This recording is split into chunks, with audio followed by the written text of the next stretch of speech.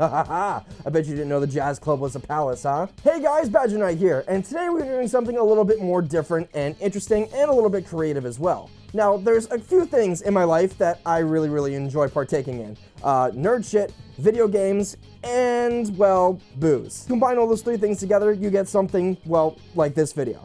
Today we're going to be making some Persona 5 themed cocktails, and I have my own list of recipes that we're going to go ahead and run through throughout the duration of this video. And also, if you guys want to try a specific drink, uh, there's going to be chapters down here in the uh, description. You can just sort of tab through, make sure what you find interesting. But uh, we're going to go ahead and make cocktails themes around the characters and palaces of Persona 5. Of course, one of my favorite parts of Persona 5 Royal is the Jazz Cafe. And, uh, you know, going in there, um, you know, it's a nice, nice atmosphere and everything. It's a really, really good addition to Royal. I thought it would be interesting to go ahead and sort of take that aesthetic and then apply it to this video and make uh, cocktails that are themed around the Phantom Thieves and the various palace rulers that they do battle with in Persona 5 Royal. Now, this isn't exactly the first time I've done a deviation from uh, my normal standard fare of content, which for those of you who are familiar with me and the content that I do put up on this channel, I have a series on this channel called Dichotomy of a Character, of which I'm currently doing a run through of five of my favorite Persona 5 characters, that being of uh, Takamaki, Ryuji Sakamoto, Makoto Niijima, and Sumi, uh, Yoshizawa, and Goro Akechi. I'm actually in the middle of uh, producing and making uh, the episode where we're going to go ahead and cover Makoto. The Ann and Ryuji videos I've already uploaded, so again, you guys can go check that out on the channel. Links will be in the description down below if you're interested. Akechi and uh, Kasumi videos are coming as well. As soon as I finish the Makoto one, I'm going to either work on one or the other. I'm not really sure which one I'm going to put in for the season finale of Season 2 of the of Character, where we're exclusively focusing on Persona 5, but we'll get to, we'll get around to that eventually. This is going to be the second episode of what I guess I'm going to call the Dichotomy of a cocktail. I actually did a whole entire video themed around the last season where I almost exclusively covered the characters of Mass Effect. The link to that video will be in the description if you guys want to check this out. It's going to be done in the same style as this video, only instead of making cocktails that are themed around the characters and uh, antagonists of Persona 5, we make some around the characters of Mass Effect. One comment that from that video is always stuck in my mind is that um, I didn't really have any proper spirits to make the drinks that I really wanted to, to make, uh, to fully fulfill the recipes that, you know, I have, that I wanted to make for that video. But now we do. I actually have some proper spirits and more behind the bar, as we'll get to in just a second. Without further ado, let's get started. I'm Badger Knight, and this is Persona 5 themed cocktails. Let's get started.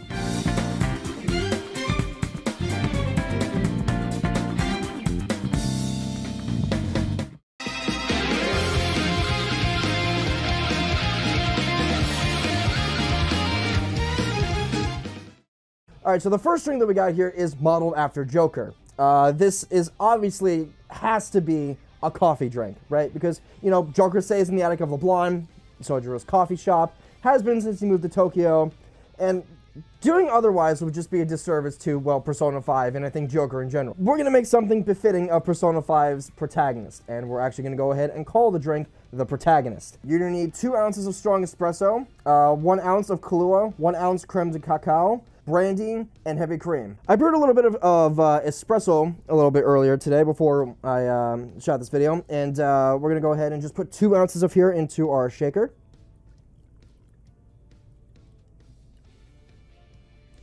Oh, that spillage, wonderful. And then one ounce of Kahlua. Crack that open. One ounce of dark creme de cacao. I got some uh, just Mr. Stacks here. Nothing too fancy. And then, of course, just to spice things up here, we're going to use uh, some EJ Brandy. And then we're also just going to use a little bit of half and half cream here. Uh, now, ideally, you would use heavy cream, but I didn't have that on hand. And, well, this is supposed to be a coffee drink, so why the hell not? We're going to put in, say, half an ounce. Just dump that in there. And then we're going to top with ice. We're going to shake and strain into a martini glass. Ah, let's get that whiff. Yeah, surprise, surprise, it smells like coffee. Oh, you can smell the brandy in there too. Ooh. Mm. And there you have it, ladies and gentlemen. One protagonist. This should be fairly good. Um, I mean, it's just it's just coffee, Kahlua, just a little bit of, of uh, warmness with the brandy. But uh, yeah, let's pull this thing off and then see how we do.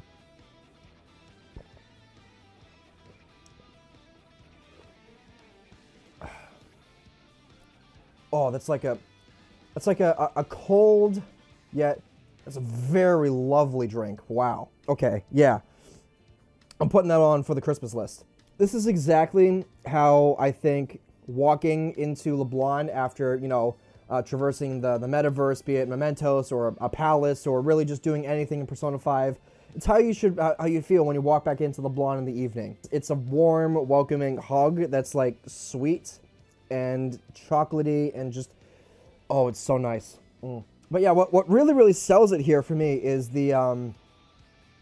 Uh, it's it's like it, it it's it's a very very simple drink, but it's also kind of complex at the same time. Like you get the um, you get the the the warmth of the brandy hits you first, and then you taste the chocolate, and then the Kahlua, and then you get the punch of the espresso beans, and you get a little bit of the of the half and half cream in there as well. Dude, you could make like a like a, a milkshake out of this. If you could have this like frozen, oh that that would be ideal. I think that would be really good. You know, I wonder how many of these drinks are actually going to be like really palatable because we're, we're going to get really really weird a little bit a little bit later in this video, but you know, I figure start start off with something nice and simple, right? Kind of like Joker's false persona that he, uh, that he's kind of forced to adopt, right? You know, hide both face and mind, right? You're not the leader of the Phantom Thieves. You're you're you're some schmuck with a, a, a bullshit criminal record because uh, damn Sue, a brat, man, uh, Masayoshi Shido. I get the protagonist of my mustache. if there wasn't any more drinks to cover, I'd absolutely have another. but that's that's it, I think, for uh, for this sort of combination here. Yeah, so that was the protagonist, man. Oh, I think that's that's like 10 out of 10. That's that's gonna be that's gonna be tough to beat as we go on. But uh, anyway, on to the next drink.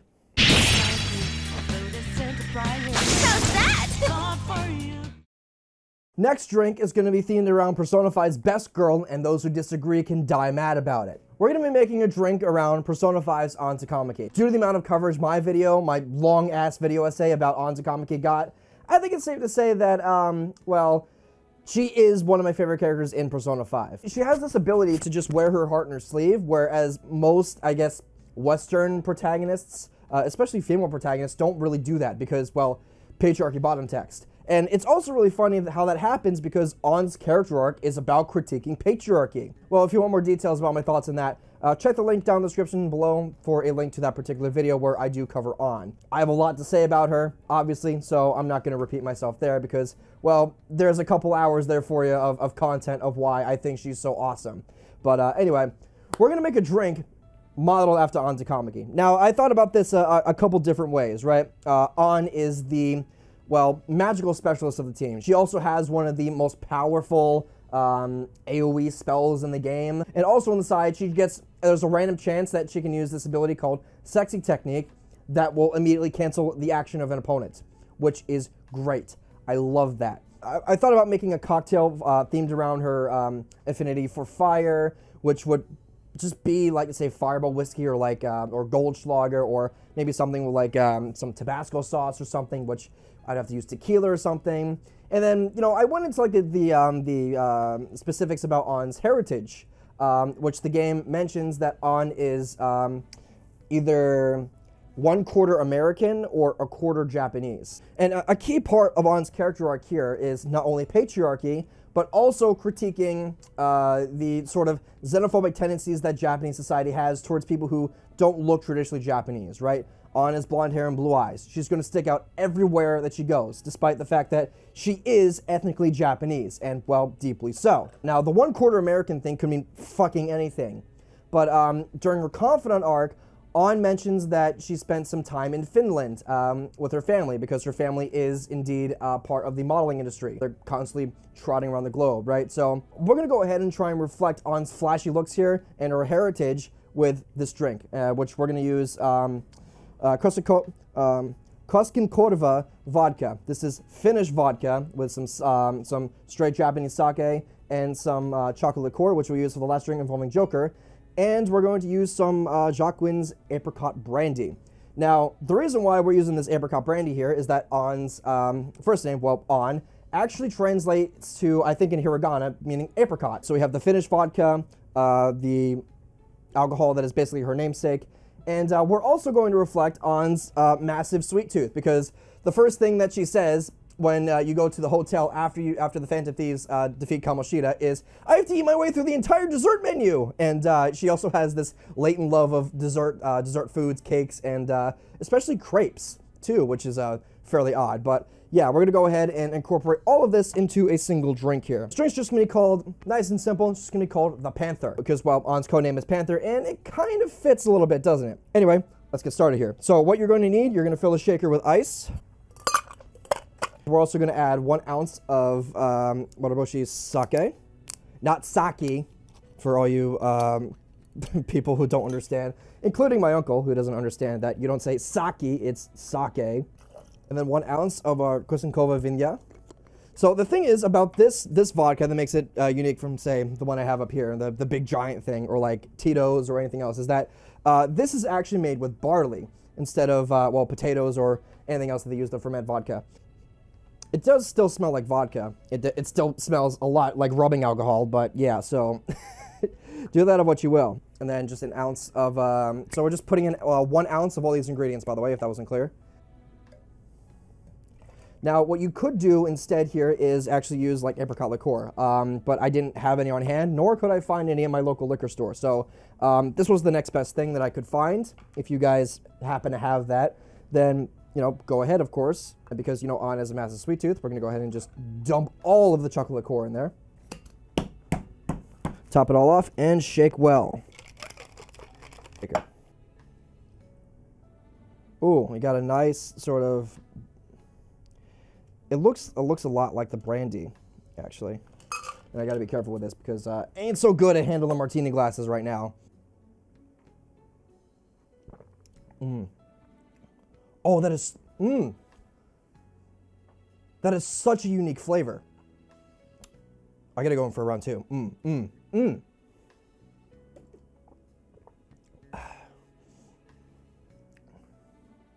Huh. Wow. I'm, I'm actually just speechless. I don't know what to make of that. That's it's delicious, but oh man.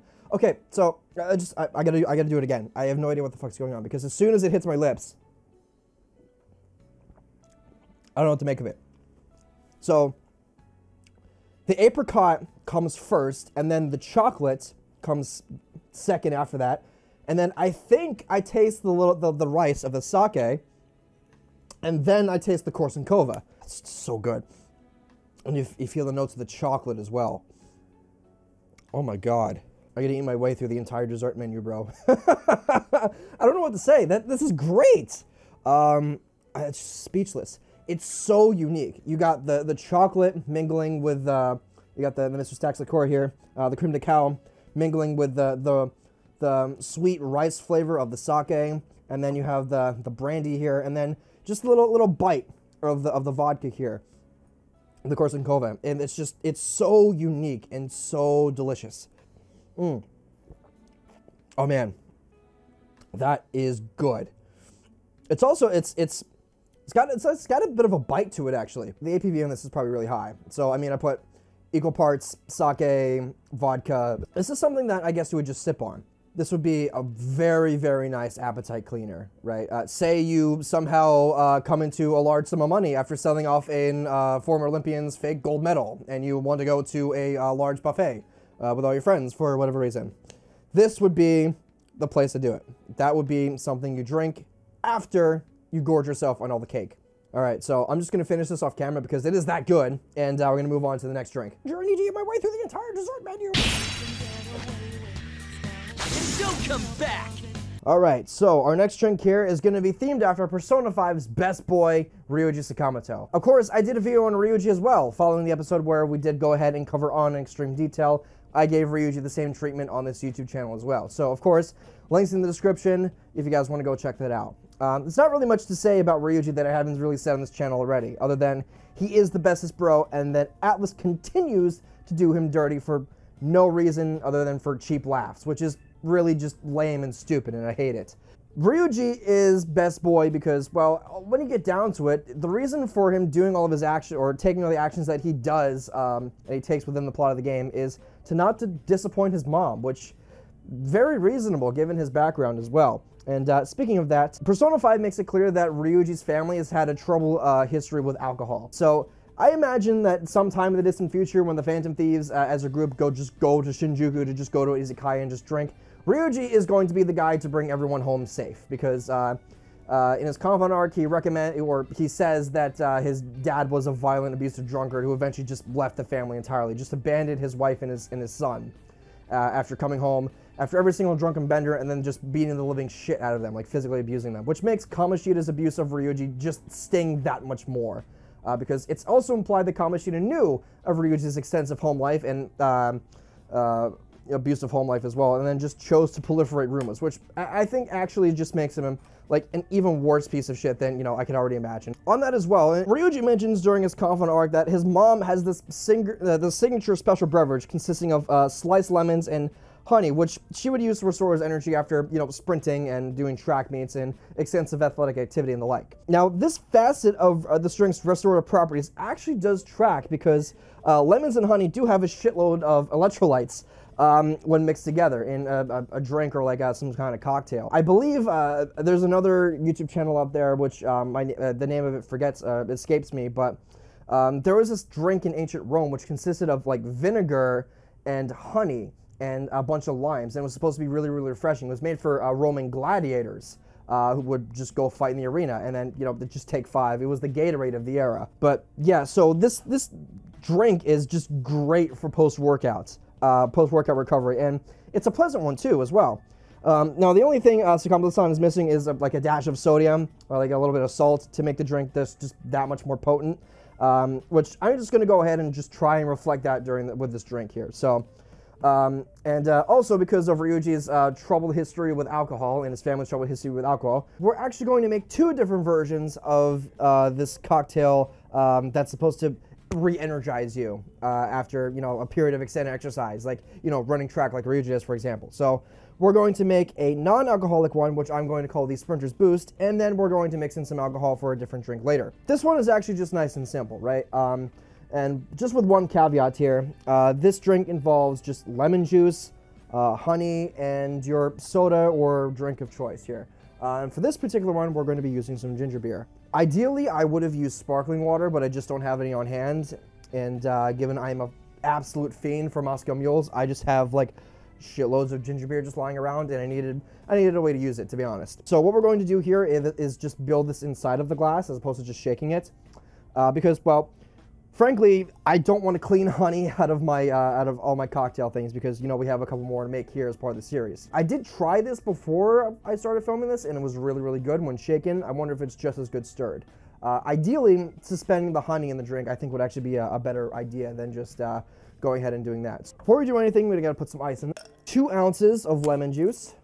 We're going to also just put in uh, the same amount, so two ounces of, of honey, and we're just going to go ahead and just eyeball this. And we're going to use our lemon slice to garnish to sort of swirl up all the honey and everything else. And then we're just going to go ahead and just top it with some ginger beer, about the same amount. So we're going to fill up the rest of the glass with it. Our lemon garnish here, and then just stir up everything. Now with this, as you can see, all the honey is just sort of stuck to the bottom. Actually, I have a better idea for this. So if you were to just shake this in like a normal cocktail, or just use the cocktail shakers for it, um, then the sort of the honey is still going to stick to the sides of the cocktail shaker as I've seen. You know, I mentioned that I tried this off camera, but you're going to get a little bit of that honey inside the actual cocktail, right? It's still going to stick to the sides of this because it'll be colder.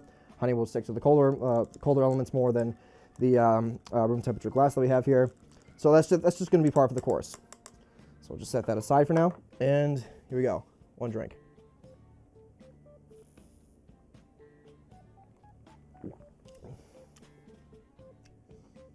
Mm. That is that is refreshing. That is very very good. Um, hmm. It's not as good if I chose to shake it, but again, for the sake of this video, I really can't because I don't have time to just scrape all the honey out of my cocktail shakers. But the version I tried where I do shake it is superior because we do get some of the honey that's just not sitting at the bottom of the glass all crystallized here. Yeah, that that is refreshing um, which is very, very handy given that, well, frankly, the, the studio is very, very hot. I got all these lights on. I'm wearing black. But yeah, goddamn. If I was on a if I was on a sprint and you know, my parents were like, "I brought yours, I brought this for you. Heal up, get back at it." I would absolutely just run just for this drink. It's so refreshing. It's tart, but yet the spiciness of the ginger beer sort of levels it out. And you get the little bit of honey in there as well, of course. Uh, I'm going to see if I can try and reach the bottom of the glass here, but...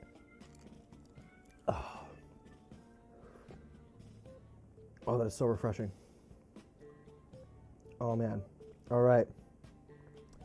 Well, all right. That's it's pretty self-explanatory there, guys. Um, it's it's just a really really refreshing post-workout drink uh, filled with electrolytes. You know, I might actually have um, more of these after I film because, you know what they say, more electrolytes, less likely to get a hangover. You just get more hydrated. So I'm gonna have a couple more of these after I start downing effectively multiple cocktails just for this one video. So keep that in mind, I guess. It's a nice refreshing drink, but uh, yeah, we're gonna move on to the alcoholic version now.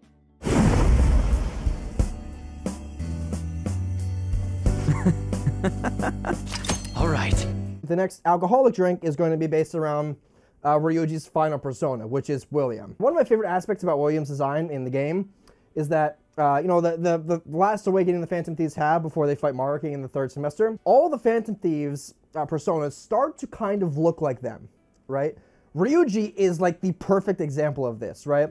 Uh, William, uh, the persona, becomes exactly, almost identical to Ryuji, and I love that so much. It's such a cool design. The subtext of that is really obvious. It's so cool. I love it. But yeah, so we're gonna go ahead and just uh, clean up here, and then we're gonna go ahead and move into making uh, what I'm going to call William's Fighting Spirit. So let's get started, shall we? All right, so for this one, you're going to go ahead and fill the shaker with ice. Oh, my ice is starting to melt here. And then we're also going to add um, one ounce of our dark rum, one ounce of rum. Glug, glug, glug, glug, glug sound. So, of course, you know, pirate themed, you got to have some rum in there. Think tropical. Uh, I th I'm thinking some triple sec here. So, one more ounce of triple sec. And then we're also to put in about an ounce of lemon juice as well. We're also to add a little bit, an ounce of honey.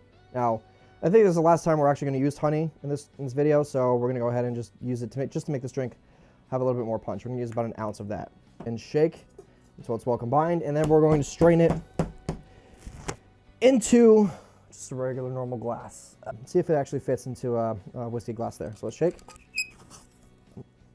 Oh, that is that smells really powerful. oh, there's all the honey. Just stick it at the bottom. Nice. Just use the same old lemon slice for garnish. And there you go. We have the Williams Fighting Spirit. Me just take a whiff of it real quick. Smell, definitely smell the rum. That is very, very up, up in front there, front and center.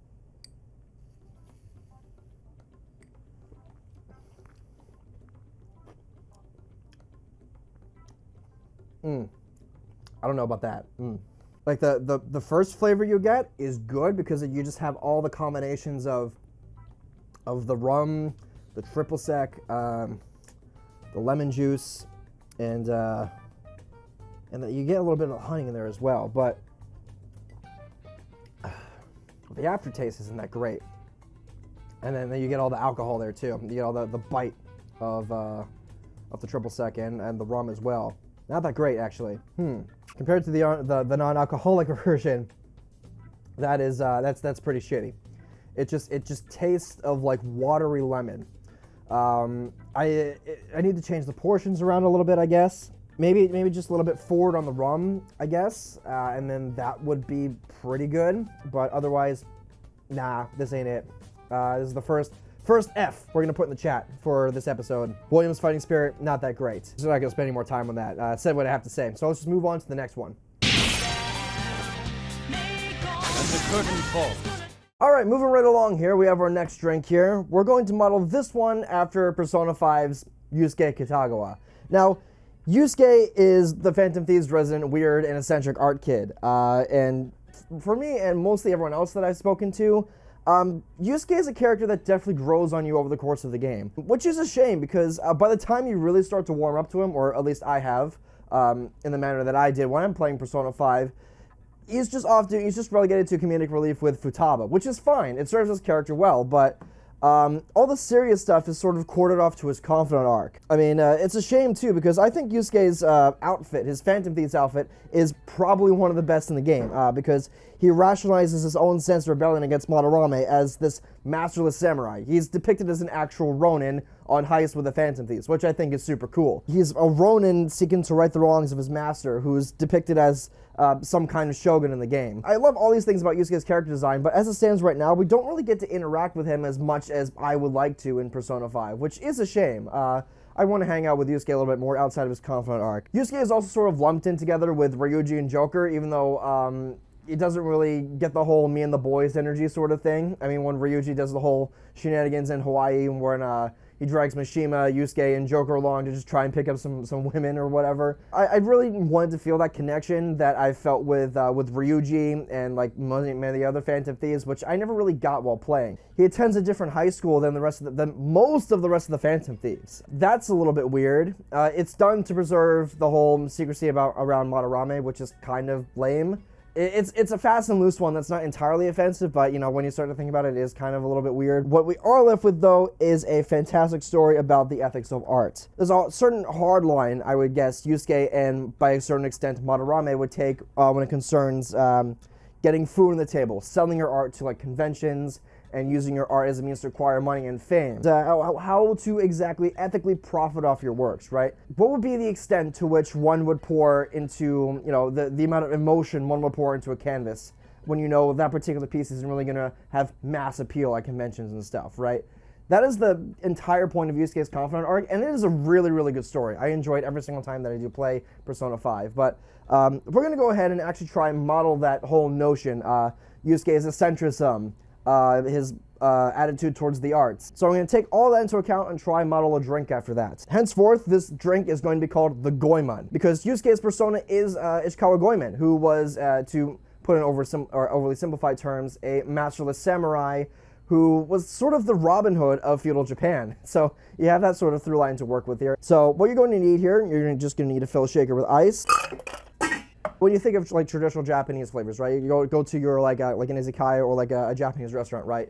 Um, or any sort of like Asian fusion restaurant, let's say. They serve you, you know, like say green tea, for example, some yuzu fruit. Rationalize this drink for Yusuke. I thought we'd just go ahead and fully send and make it a sort of uh, drink that sort of reflects traditional Japanese flavors, right? So sake, we have some green tea syrup, um, some lemon juice, and uh, even though it is out of season here, we have some lychee juice as well. Lychee juice is currently out of season. I would go ahead and just chop it up, maybe use some as a garnish, but it's currently, you know, the beginning of March as I'm cur- currently filming this video. And yuzu fruits, um, uh, when internationally exported, are only like they're summer fruits and they're not available year round, at least here uh, in the states where I'm filming this. And if I wanted to like say import something or go to like a, um, you know, a, a, fort or go to like a, a specialized supermarket that does carry them, it's like a drive and they're super expensive. And if I were to make a juice out of them, I would need to basically buy like a whole box of them. I would need like 15 to 20 to make like, say, just like a, a simple syrup out of it. So I just got this off of Amazon. Uh, it's 100% lychee juice with pulp and no added sugar. So I've actually had one of these off camera and they're fairly good. I haven't actually had lychee juice before, so I thought this would um, serve as a nice little uh, segue here or as a little bit of a mixer here to sort of add to the flavor of this cocktail. Um, to sort of describe the flavor of lychee juice, it's like sort of vanilla-y, citrusy milk, if that makes any sense. So we have that, that sort of, um, it's very, very, very difficult to describe when in comparison to like say Western fruit. Um, I'll throw out maybe some, some words on here, but um, it, that, that strong flavor of like vanilla-ish sort of tangentially related flavor is there. So we're going to throw that in as well. And then you're going to need two ounces of sake. Now, the, the whole thesis behind this drink is that, um, you know, Yusuke um, Count no Madarame actually has a uh, decent appreciation for traditional Japanese art, right? Um, and you know his uh, his attitude and how he carries himself in the metaverse as well sort of reflects that. So we're gonna do uh, about half an ounce of this stuff, and we're gonna have some of this off camera as well because it is actually really good. And You see all the pulp in there as well. That should go very very nice with the sake, the texture of the sake that I have. And then we're also going to have um, this is just some some uh, green tea syrup. So just take a look at this.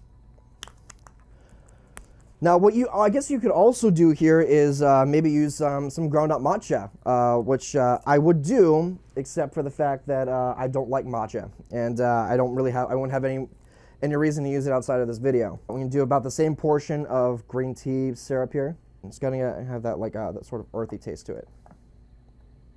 I'll have to clean this out as well because, yeah, look at that. It's all gross and green.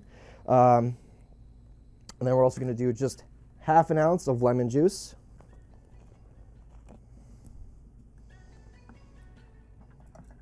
And two dashes of some orange bitters. So we're, we're supposed to have like this super uh, bittersweet sort of flavor here. Shake well, and then we're going to strain it into this martini glass which we have here. Let's just stick that right there. Oh, it's just, oh, it looks like vomit. oh no.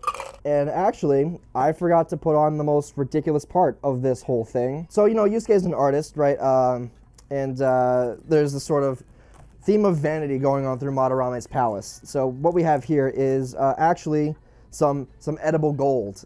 you might have saw like uh, some idiot on TikTok or whatever um, want to like flex on on whoever the, um, like whoever the hell ordered like a steak that's coated in like uh, like gold aluminum foil that was edible. Uh, and actually, you know, I bought this off Amazon for like 10 bucks.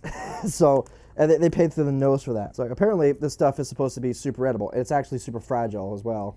It's like already falling apart. So yeah, see. So let me, let me just uh, just have a piece, I guess. This this is so ridiculous. Um,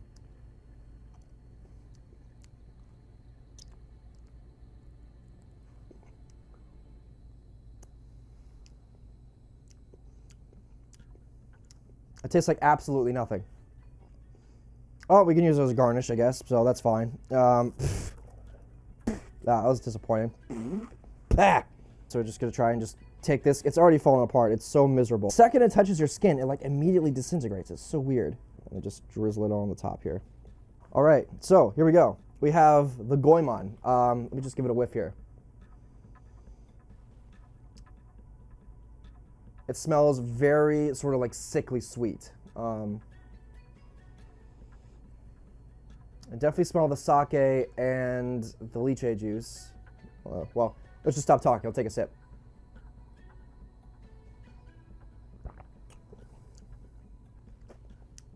Mmm. That's pretty good. All right. Okay, yeah, first, first things first, you get the coldness of the ice, obviously. And then you get sort of the, the tiny little nip of the sake, and then you get the, um, uh, the sort of uh, vanilla fruitiness of the lychee juice. And then you get the green tea, um, and everything else just follows through with that. It's just, that's, that's really, really good, actually. It's, it's, it's a very earthy cocktail. Um, maybe if you could, if you want to like say, quote unquote, westernize this, I guess, you could probably use some vermouth and make this into a, a sort of martini. Um, I know uh, martinis use like olive juice. Maybe you could actually use um, some green tea base here to sort of substitute uh, the olive juice that you put into it. Yeah, that's fairly good. It's actually kind of refreshing too, because we have the, the lychee juice in there. I don't think it's going to be the strongest cocktail. By strongest, I mean the uh, the most delicious one. But I, I, could see someone really enjoying this. If you like martinis, I suggest you try this one out. Mm. yeah. Add that one to the Badger Knight Clean Clean Glass Club. Slightly clean glass club. but all right, let's move on to the next one, shall we? Welcome to the Museum of the Master Artist, Madarame! Talk about bullshit clothes. First a king, now some kind of shogun. Unlike Yusuke, who has appreciation for the fine arts, Madarame only sees such things as a means to accrue wealth and status to himself, and only to himself.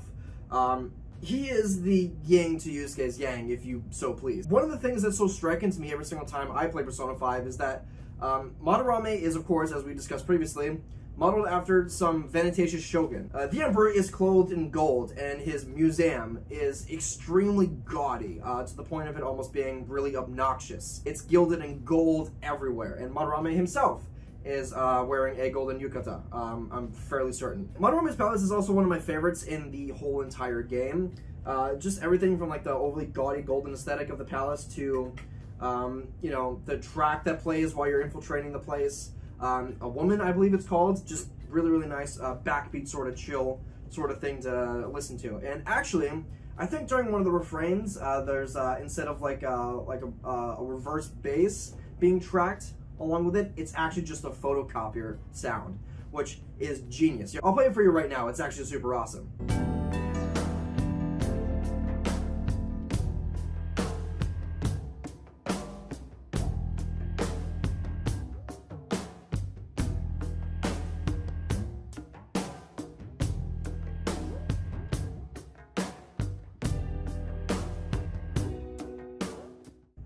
Huh? You learn something about Persona 5 every day. But uh, anyway, back to the drinks. So when I was thinking of a recipe for this drink, I knew that I had to include ingredients that would encapsulate the overly gaudy and vintageous personality of Madarame. And for me, that obviously led to me grabbing a bottle of Goldschlager. Now, for those of you who aren't aware of what Goldschlager is, it's basically cinnamon flavored schnapps with little flakes of gold floating inside of it.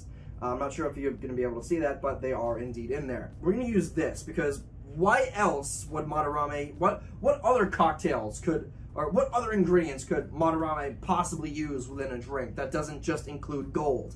So we're gonna use that. And um, and another thing to just throw in here that's sort of specific to the characterization of Madarame. Uh, I mentioned previously that Yusuke has a really, really deep appreciation of traditional art, especially Japanese art. Madarame does not, very clearly. He only sees art as a means to accrue status and fame to himself. So, and then he also has sort of adopted this sort of uh, pseudo uh, Japanese aesthetic, uh, traditional Japanese aesthetic, but without really truly understanding why this happens or why it's so significant. So I thought we would reflect this sort of fake authenticity or this fake persona that he's adopted as this uh, affable old man by not using the sake that we used for the uh, drink that we used for Yusuke. Instead, we're going to be using Gekkeikan. Uh, I'm sure I pronounced that wrong, but point being, this sake isn't actually uh, made, produced, and bottled up in Japan. It's made in uh, California, and specifically in my notes here, it's made in Folsom, California. And uh, I've had some of this stuff, and to be honest, it's odd and it's not all that great. Uh, it's clearly a cheap imitation of the real thing. But hey, anything to save a few bucks, I guess, uh, and cut corners and say Nihongo Jozu to all the gaijin who want a bottle of sake but can't really afford the good stuff. So, Goldschlager and Gekkeikan are main ingredients here that we're going to need to, uh, of course, chart this up with maybe some citrus flavors as well. So, let's get mixing, shall we? Ice! And we're gonna do uh, one and one half ounces of Goldschlager. We're also just gonna do an ounce of our uh, absolutely 100% uh, authentic Japanese sake, which is absolutely not real brewed in California. We're also going to put in a little bit of ginger syrup. This should go very, very nice with uh, the sweetness of the sake and the sweetness, or the, the sort of uh, fireball-like qualities of the Goldschlager, right? The cinnamon sort of flavors. Oh. I guess if you wanted to like sort of highballify this, you could you could use something like say ginger beer, but um, make it a little bit more fizzy. And then we're also going to add a little bit of lemon juice and one dash of Angostura bitters. And then of course, as always, cap it off, shake. Here we go. a nice clear sort of greenish color. It looks a lot like. Um, Oh man, that, that cinnamon is very powerful. That's the first thing you got there. And then I, I think I smell a little bit of the ginger as well. But yeah, this can be a very cinnamon sort of drink. Here we go.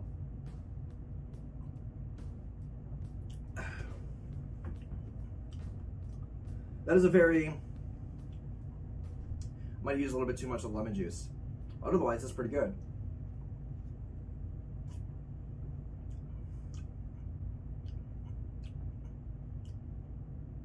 Mm. It's really strong punch. I can't I can't single out what it is. Ginger is sort of mixed in with the the Goldschlager there, uh, to the point where I can't really nail it down. Uh, I will say, however, the lemon juice really complements this as well. Uh, I can't take I cannot taste the sake whatsoever, um, and well, frankly, this stuff to me tastes exactly like vodka. It's a little bit more sweeter, but yeah, I would be able to taste the bite of that if it was uh, if it was like say the vodka I have here, but yeah, it's also not very well combined at the bottom, but it is, it's, it's getting a little bit cloudy.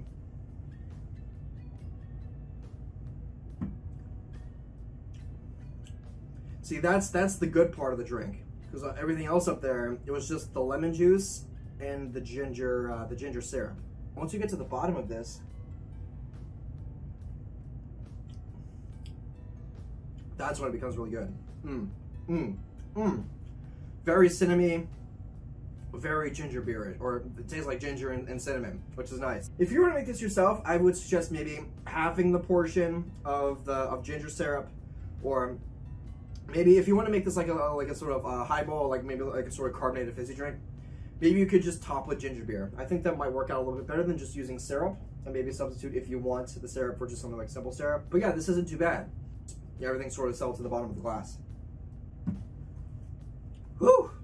That's pretty good. I don't think that's going to be a personal favorite of mine, uh, but if I just so happen to fancy making one, I might. But uh, uh, compared to all the other drinks that we have so far, it's not that interesting. Um, it's just it's just um, lemon, cinnamon, and and ginger. Um, those flavors do go go together very very well, but outside of that, eh, not so not so great. So that was the Shogun's Vanity. Uh, pretty decent drink so far. The flavor profile was very good, but it just doesn't stack up to like say, you know, the protagonist or the drink we made around Ann. It's like a solid seven and a half out of ten. I think this is decent. Um, but yeah, uh, we're gonna pack this one up here and then move on to the next drink. Thanks, ma'am. All right, next drink, we're going to make a few different cocktails modeled after Persona's worst girl, Makoto Niijima. My rationale behind making this drink is that Makoto is characterized in Persona 5 as being this very sort of naive or socially naive uh, young girl, right? She doesn't really have any street smarts. She doesn't know what her her uh, kids her age are into.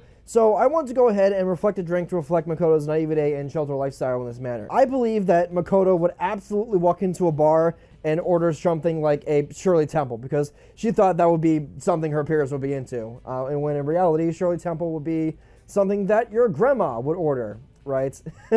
Very old style sort of drink. I'm of the opinion of order whatever the fuck you want, but for the purposes of this video, this would be the drink that Makoto would probably order if she just walked into a bar. So normally what you would use this drink for, like the non-alcoholic version, is it would just be uh, a splash of, uh, just be a splash of grenadine, some ice in a cup, and uh, some Sprite to top and then you would garnish it with the fruit of your choosing, be it the cherries or raspberries. In the spirit of modeling this drink after Makoto, we're going to be doing something a little bit different here. So the spin on this uh, Makoto-centric Shirley Temple-esque thing that we're trying to do here is that instead of using Sprite to make a Shirley or a Dirty Shirley, we're going to be using Fanta.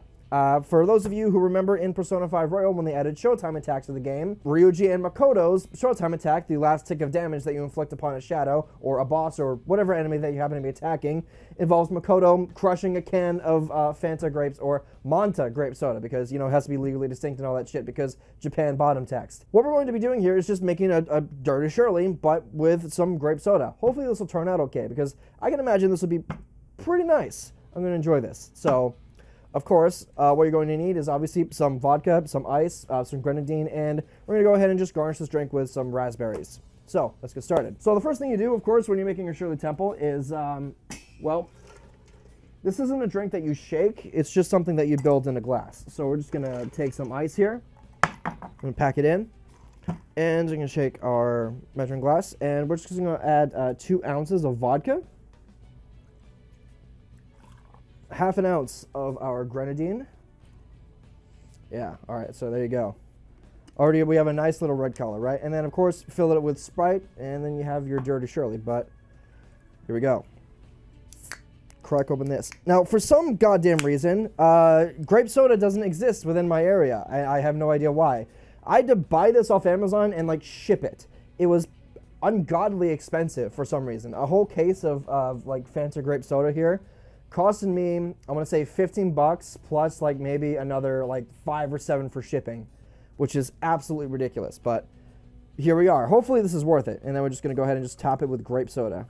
All right, yeah, there you go.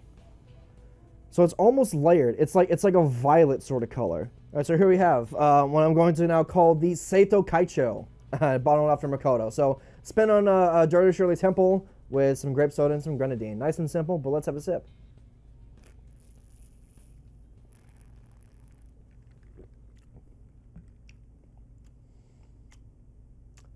Hmm. That's like, it doesn't taste like anything. Um, eh, I mean, obviously you get the grape soda.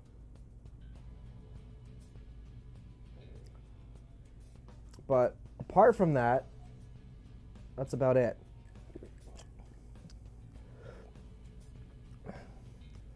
Yeah, if anything, I get the grenadine first and then the, the greatness of the soda. It's, um, it's, it, if you were going to give me a couple of these, these are actually kind of deadly because I don't taste the vodka at all. It's inoffensive, but it's not great. Grenadine and the Fanta actually combine to make something rather interesting. It's, it's a nice flavor, but I kind of want the burn of the vodka a little bit, I guess. If this was if this was something that Makoto would order, I guess it would be okay. Uh, it would be in line with her character arc, I guess. But outside of that, I guess I'm looking for something a bit more complex. I don't know. Maybe my expectations are a little bit too high. But uh, it, I mean, he says that as he's like finished half the drink. But well, I think that's about as much I can get out of that. Um, it's drinkable. It's not the first thing that I would probably order. Then again, surely I don't go into bars or I don't imagine anyone else goes into bars and immediately sits down and says, "Hey, I want a Shirley Temple." It's inoffensive. I mean, if you want something drinkable um, and slightly dangerous, because again, I don't taste the vodka whatsoever, um, this is your drink. All right, well, we're going to move on to something a little bit more complex, I guess, speaking of that. And we're actually going ahead and model this not after Makoto's uh, outside metaverse personality that she has, where she's sort of this, this meek, uh, sheltered girl, but we're going to model it after Queen, her persona that she adopts while on Heist with a Phantom Thief. So let's get into it.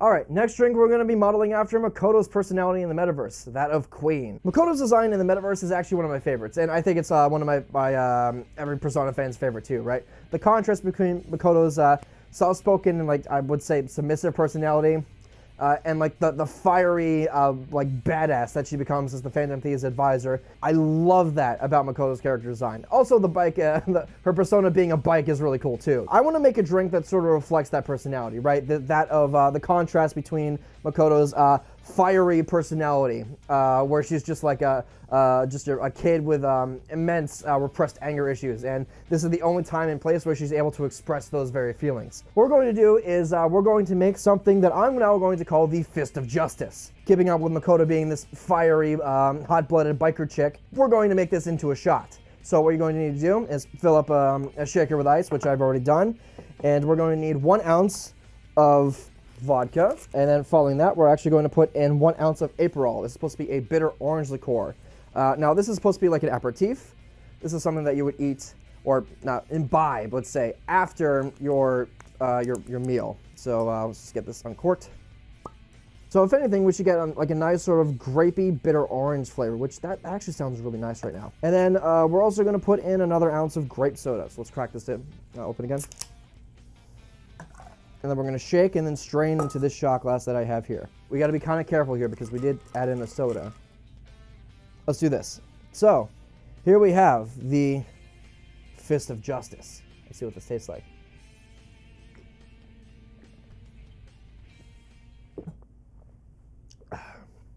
Yeah, that's pretty good. Um,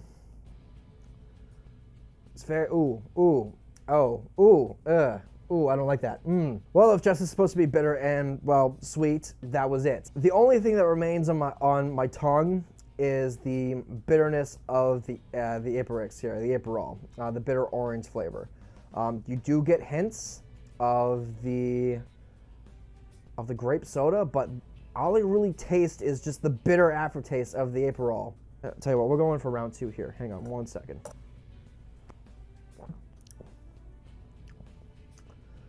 It is tasty, right? The, the, the front flavor is very, very good, but then, oh, and you get to the, the, the, the bitter orange flavor. It's just, oh my God, ah, it's disgusting. I'm not a fan personally, but I could see where people would enjoy this. I could see where that would come from. Uh, the second one went down a little bit better, I think. It's pretty average. Um, well, that's kind of disappointing. Uh, I, I think I preferred the other, uh, the Shirley Temple S drink, um, the Seito Kaicho, over this one. But um, oh, that's that's kind of disappointing. If you could make this into a cocktail, I would assume it would be pretty good. Um, double up the portions. Apart from that, that's uh, it's pretty eight out of ten. Solid, but wouldn't order it if I go to a bar. But anyway, let's move on to the next drink, shall we? Don't be ridiculous. You're not the one to decide such things. Of course, we can't just talk about one Niijima sister without talking about the older one, now can we? We're gonna make a drink designed to reflect a few things about Sae, including my favorite thing that never fails to send my sides into orbit whenever Sae slams the table in Persona 5. All jokes aside though, this drink is inspired by Sae's inner conflict and her struggle to balance her ambition and sense of justice as the latter slowly but surely gets corrupted over the course of the game, leading to, well, her palace being constructed. The idea behind this was, uh, we're just gonna make like a normal margarita and then uh, add a little bit something to it because whenever I think of um, someone ordering a margarita, it's like the most normal drink you could possibly ever order in the history of mankind.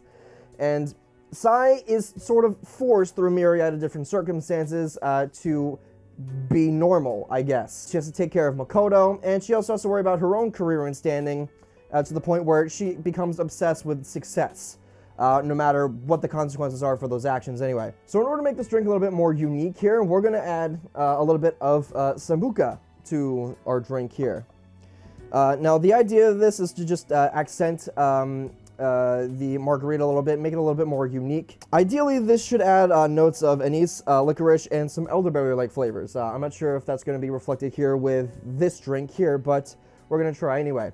So the Sambuca here is going to try to represent the uh, sort of uh, latent desire for society to be a little bit more different in a society that doesn't value individualism whatsoever. So we're going to go ahead and just mix it all up together now. So I'm pretty sure everyone knows how to make a margarita, but we're going to run through it anyway. So in order to make this, you're going to need uh, two ounces of tequila, one ounce of lime juice, half an ounce of triple sec, and half an ounce of agave syrup. And then we're going to add, say, quarter an ounce and uh, or maybe an uh, half an ounce of sambuca because again I've never had this. All right, so let's get mixing, shall we? Ice is in the cup. God, this is worse than the stopper list they put in like vodka. Why is this so? Oh shit! There it goes. All over myself. All right, two ounces of tequila, and then half an ounce of lime juice.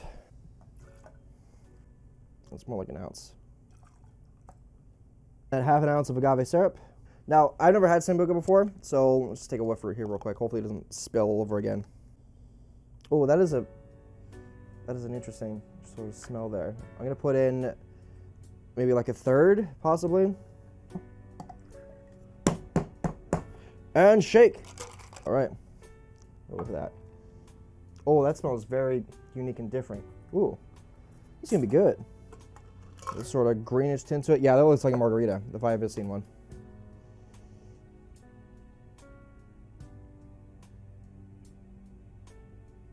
I definitely taste the sambuca. Um, I don't know. Well, I've had I've had margaritas before, so let's just let's just down the hatch. We'll describe it as if you know it was a little bit different. Let's see.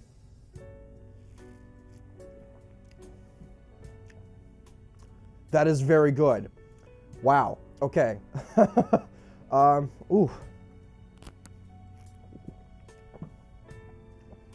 Yeah, you definitely get you get the punch of the tequila, and then you get the sambuca. So yeah, so you get the punch of the tequila, and then you get the sambuca, and then you follow that up with a little bit of a orange flavor from the triple sec. Um, and then that's just really good. And then you get the, the punch of the lemon too. Ah, oh, that's great. I don't know anyone who absolutely despises margaritas, but this is unique enough to where I would say, if you have some sambuca lying around, or anything like like elderberry liqueur or, or elderflower liqueur, give this a try. This might actually be worth it. Wow. All right, so we're gonna finish this and then we're gonna move on to the next drink. So let's get to it, shall we? Let's do this fair and square. All right, so the next drink we have here is called the Whim of Fate. And as you can imagine, it's uh, inspired by Shadow Sae's appearance. Um, now, I speak for many a Persona fan when I say that I think Shadow Sae's appearance is probably the most interesting one in the entire game because of just the subtext behind it. It seems to be a theme with the Niijima sisters that their their uh, their outfits and uh, attitude within the metaverse is just so different uh, between you know reality and the metaverse. I mean, Makoto's a hot blooded biker chick, and Sae is effectively a uh, a flapper from the 1920s. Very very interesting to think about when we consider her character arc and uh, the amount of discrimination that she faces within her own uh, career field just because she's a woman. It's a cognitive projection of a fully, truly, and independent woman who's the sole proprietress of a, of a successful business, be that of a casino where she always wins. It's a stark contrast to how conservatively Sae dresses in reality, which is just a, what, a pantsuit, really? Uh, with a, a, few little uh, feminine hints hin- here and there, right? But it's not as overt as her wearing like uh, what I would barely call a dress. She's had to live her life according to several uh, required rules and, and regulations about how she's supposed to act and behave as a professional woman. When Sae, in reality, wants nothing to do with that, as her uh, the shadow of her design, uh, or as the design of her shadow would tint to us, right? There's a certain desire for Sae to be holistically free, and we're going to try and reflect that here with this next drink. As I mentioned previously, uh, palace is that of a casino. And if Sae is well and truly supposed to be this femme fatale, independent woman-like figure, then one's mind would immediately connect uh, playing cards and booze to James Bond. And for me, that meant we have to make a spin on the Vesper Martini. So of course, what we need to do that is we're gonna need two ounces of gin, one ounce of vodka, one ounce of dry vermouth, one ounce of triple sec, or a quarter ounce of triple sec, and to put a little spin on this, we're going to use some sweet vermouth and some blackberry liqueur instead. Now, me personally, I despise gin with all of my heart, but I'm gonna do it for you guys. So, if you like this video so far, make sure you smash that like button and that subscribe button. If you have your own comments or uh, variations on this recipe, let me know down in the comments section down below. Or if you have any other ideas for any other drinks that I might want to try in the future. So, let's get started, shall we? Ice! Rip it to that ice cube. So, uh, starting off, we're gonna two ounces of our gin. A lot of gin. Now, my experiences with gin are as follows. I made this sort of, uh, I think it was called the snowball for a Christmas party that I was basically just thrust in charge of, of being a bartender and stuff. It tasted exactly as you imagine, right? It tastes like pine needles, which eh, not that all not that all attractive, to be honest. Um, and from that day forward, I swore off gin completely. You want to make me a martini? Use vodka instead. Fuck that noise. There's our vodka and gin, and then just a little bit of triple sec here. Instead of using dry vermouth, we're going to use sweet vermouth because, well, I actually prefer this over the dry stuff. And then, of course, we have to add the blackberry liqueur. Quarter of an ounce of blackberry liqueur. Let's do this fair and square. Ah! Here we go. smells a lot like the dry vermouth. It's got a nice amber color to it. Wow. Ooh, that looks really good. And of course, because this is indeed a martini, we're gonna try and uh, just get a shave of lemon off there. Oh, there we go. It looks a lot like bourbon. Oh, I tasted the lemon because I, I did just cut that, but let's see.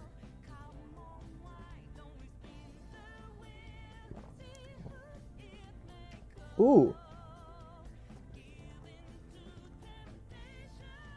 Okay, so the first thing I think I got there was the taste of the sweet vermouth and then the blackberry liqueur. I don't taste the gin. Well, actually, yeah, there's the gin. I don't taste the vodka at all. But that is that is delicious.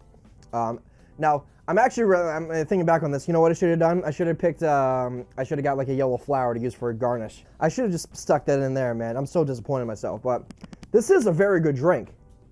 Wow. Oh yeah, there's the gin. Okay. Oh man. Oh, that is that's so good. There was just spinning the Vesper Martini, ladies and gentlemen. That was the whim of fate, and it is absolutely divine. I recommend that you try this one. All right, let's finish this one off, and then we'll move on to the next one. Next drink we're going to be covering here is modeled after the team's otaku gremlin, uh, Futaba Sakura. Now, originally what I wanted to do here with this drink, in retrospect, after uh, crafting a couple of these recipes, is um, crafting something around uh, like sakura flavors, right? Recently, I became acquainted with sakura powder. Uh, well, sakura, to the best of my knowledge, um, means, well, flower in Japanese. And uh, I believe that uh, the letter half of Futaba's name also means something derivative of flower or springtime. This drink, we're instead of just doing that, uh, we're going to lead a little bit into uh, Futaba being the team's resident otaku, and we're gonna have a little bit of fun with this drink now, shall we? So for this drink, which will henceforth be called the Gremlin, modeled after Futaba, you're going to need uh, one ounce of raspberry liqueur, one ounce of blue curacao, one ounce of lemon juice, one ounce of simple syrup, and uh, some raspberries and lemon peels for garnish. Um, but however, that's we're not quite done yet with all these ingredients. What we have here is our special ingredient we have a can of hard Mountain Dew here because uh, gamers. Yeah, I've, I've actually had a few of these. Uh, they're absolutely terrible, um, and I don't know what I was thinking of whenever they ran through my mind. Uh, they come in, uh, I got the variety pack here, so they just the normal flavor, of black cherry, uh, Baja Blast, and um, I think watermelon. We're just gonna go ahead and use black cherry because I think that'll actually complement all these different flavors uh, some degree or another. So what we're gonna do here is just basically make a cocktail and then fill it up with ice uh, and the, the hard Mountain Dew. So without further ado, let's get started, shall we? So what we're gonna do is uh, we're not going to dry shake this, but we're going to instead try adding all the ingredients before because all my other drinks that I've made so far uh, were incredibly watery. So we're just gonna add an ounce of our blue curacao, that's a little blackberry liqueur.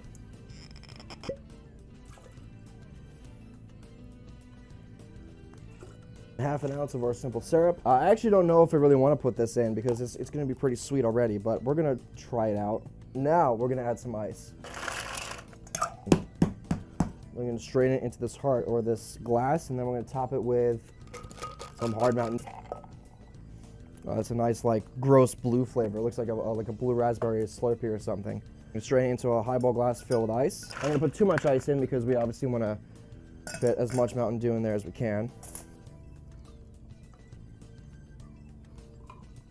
It might be a little bit too much, actually.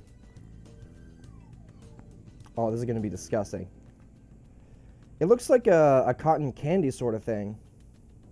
I'll wait for that head to subside.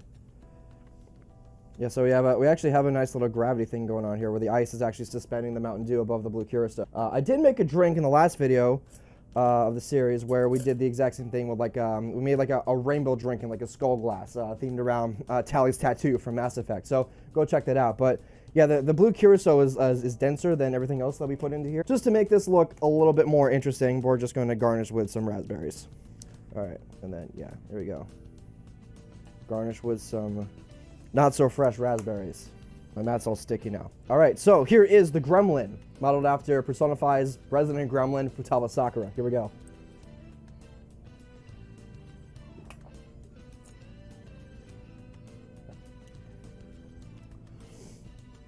Mm. I only take the, I only taste the hard Mountain Dew. Oh, well, I'll just show you how, how fresh the raspberries.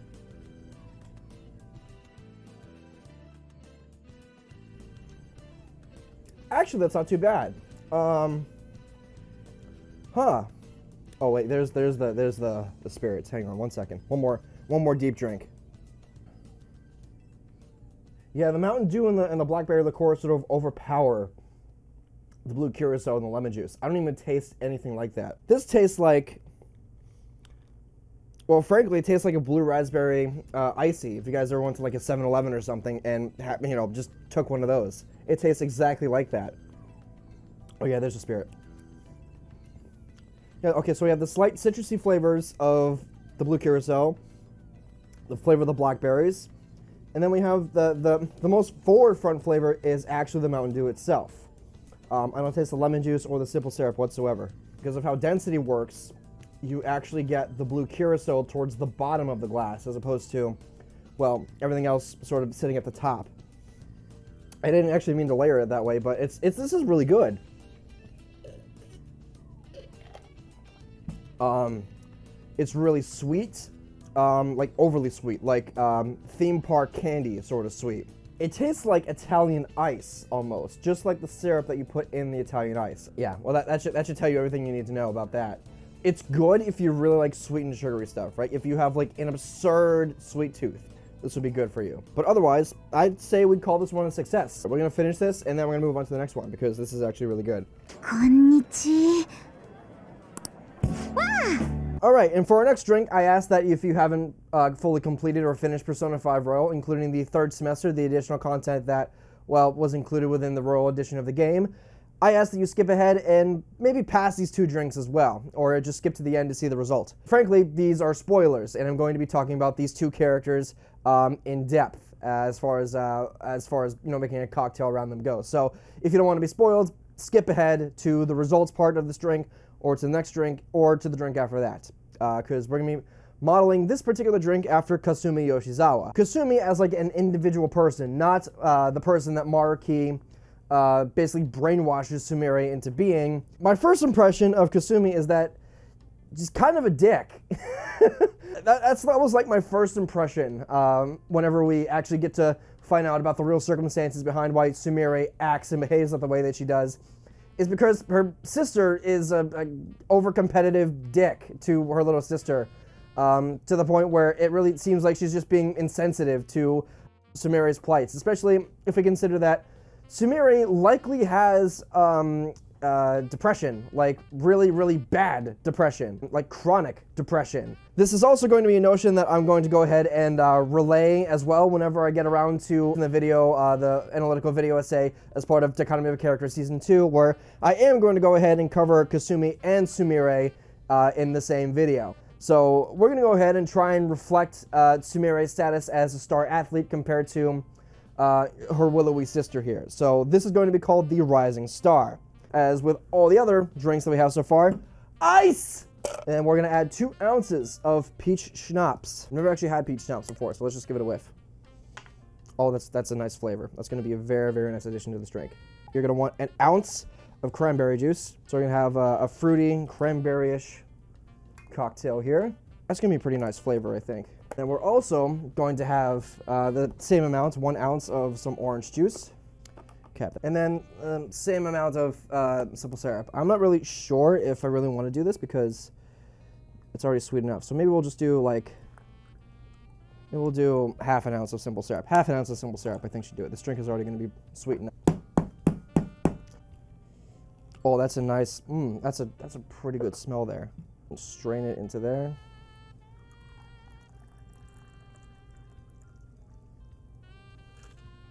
And just to make this drink uh, that much more appealing, we're just gonna uh, shave off a bit of uh, some orange peels in here. So we'll bring that out.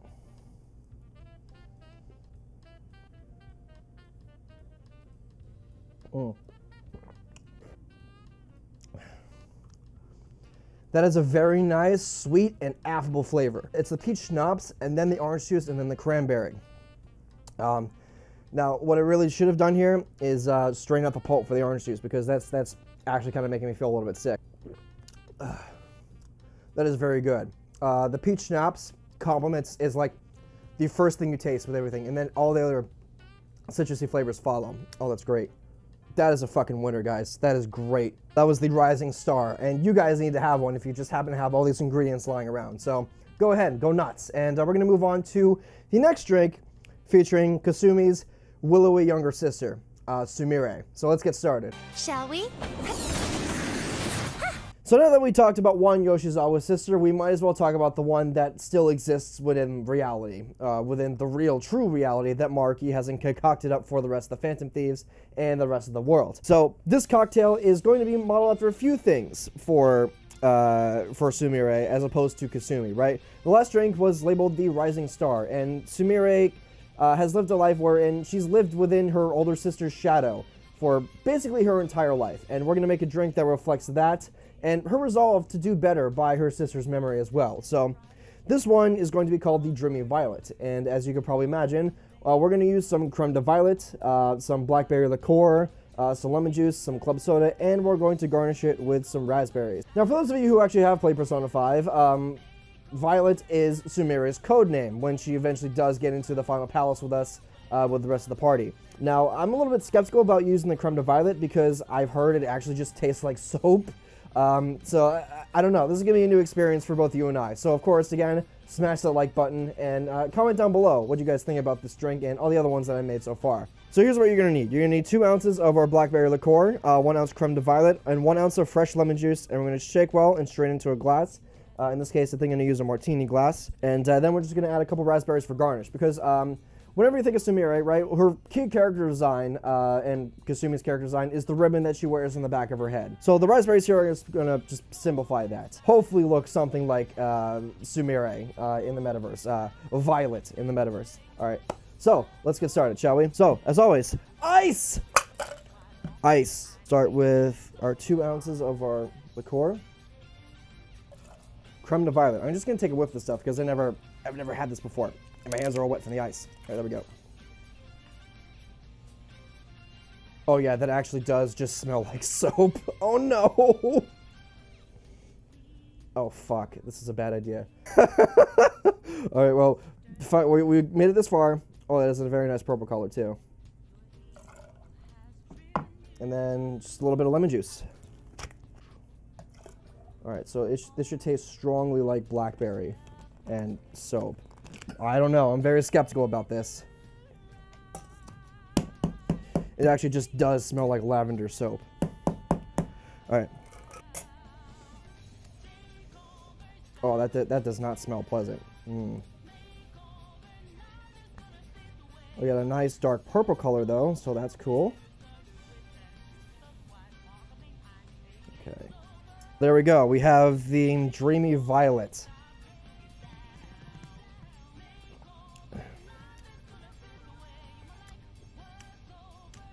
That's not bad. Um, you get some floral flavors from the creme de violet, uh, but the, the blackberry is a front forward flavor. Um, let's see. That is a very it's a, it's a good flavor. It's very interesting, somewhat earthy and floral flavored from the creme de violet. Uh, the blackberries complements that very very nicely, and I think I, I detect a hint of lemon juice in there as well. That is an interesting flavor. Um, I kind of like that. It's an easy sipper. Yeah, so we have, we have the nice little sort of um, uh, violet flavor, man. That's that's that's pretty good. I like this. This is very good, actually. Well, that was um, that was interesting. Um, hmm. I wonder what happens if I would remake that with the um, with equal portions lemon juice, violet uh, liqueur, and uh, the blackberry liqueur. I wonder if I get something different because I just taste the blackberry.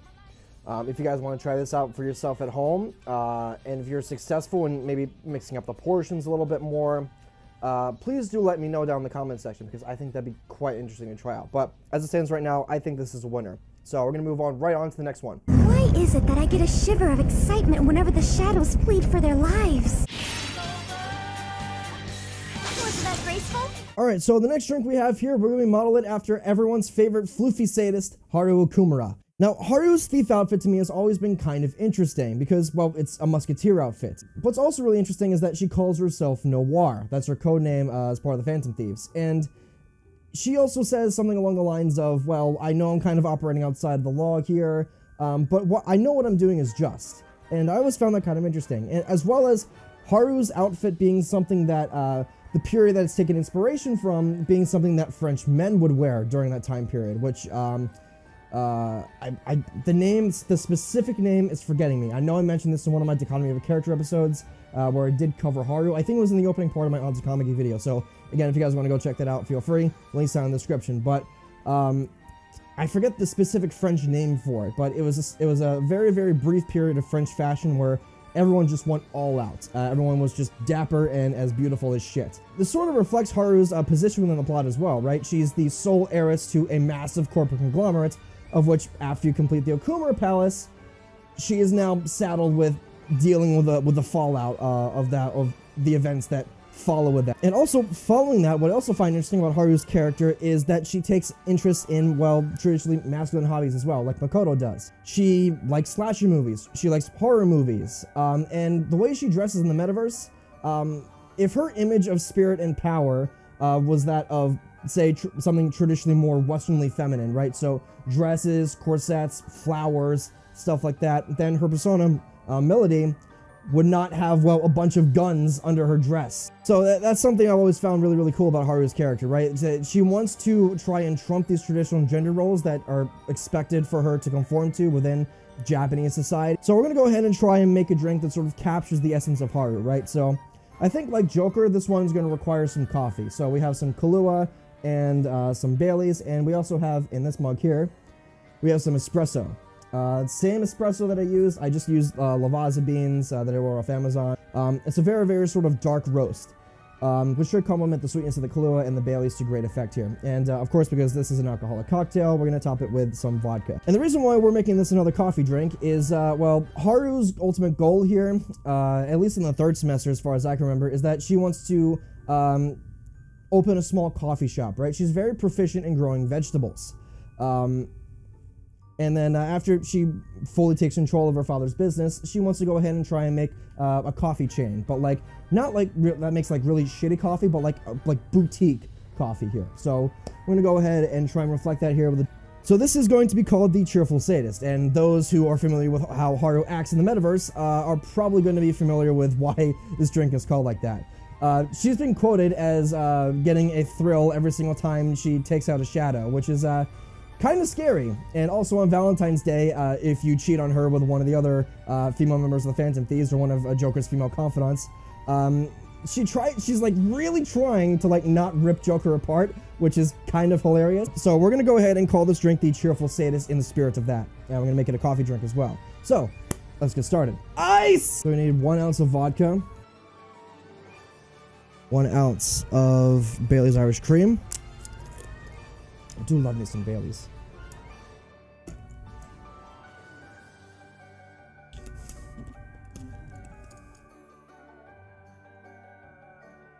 Uh, same ounce of Kahlua. We do one ounce of Bailey's Kahlua and of our espresso as well. So let's just get that all in there and then shake it up. Because, well, Haru is a kind of an aristocrat, a rogue one at that, which is also something I find interesting about a character. We're going to serve this in a martini glass. So, let's get started here. Shake! And we should have just a nice coffee drink here. So, here we are. The Cheerful Sadist.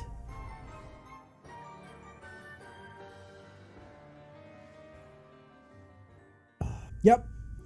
Uh, that is actually just an espresso martini. Um, well, what can I do to make this a bit more unique? Uh, this is just fine by itself. It's just a coffee milkshake. But just to make this a bit more spicy here, we're just going to add a little bit of Sambuca. Because this is just, this is a little bit boring. Yo, Badger, why are you just making espresso martini? Shut up. Just a little over an ounce of Sambuca. That should give it a nice little, little licorice flavor. Whoop. Mm.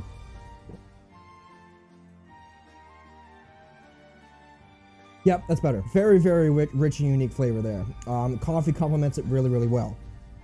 Um, maybe it was a little bit, a little bit too much, but you still have the, the sweetness of the Baileys and the Kahlua to sort of wash it all down. That pairs really, really well with the Sambuca.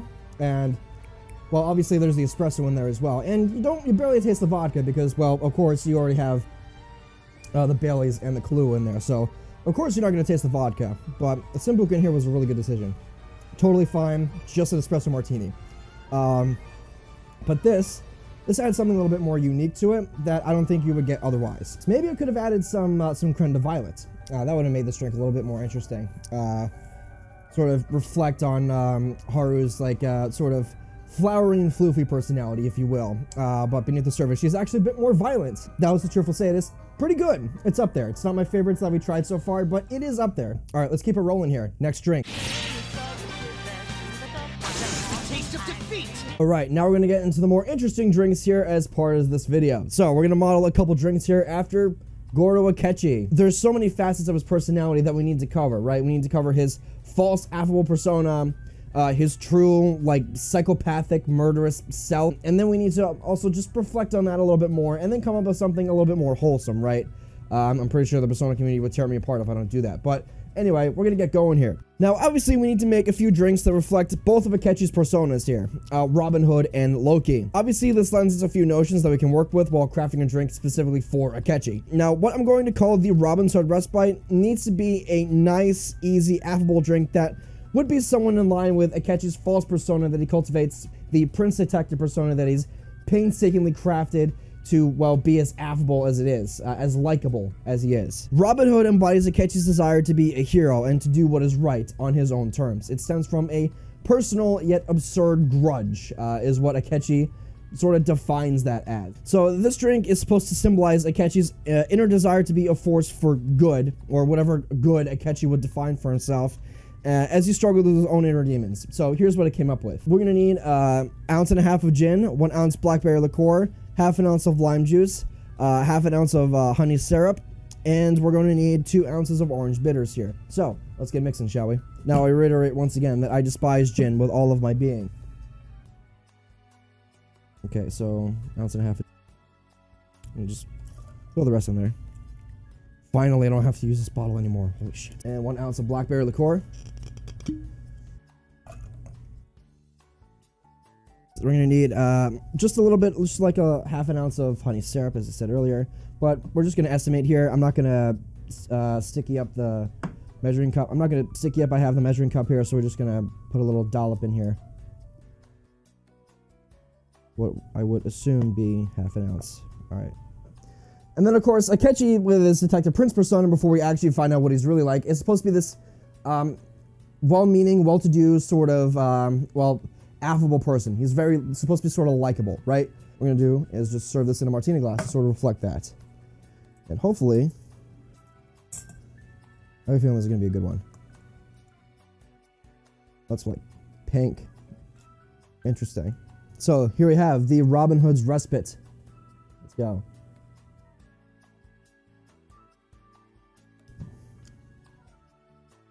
Ooh. Ooh, that's a very unique flavor. It's uniquely bitter. Hold on, I don't know how to describe that. Yeah, so obviously you get the gin first, and then everything else sort of goes with that.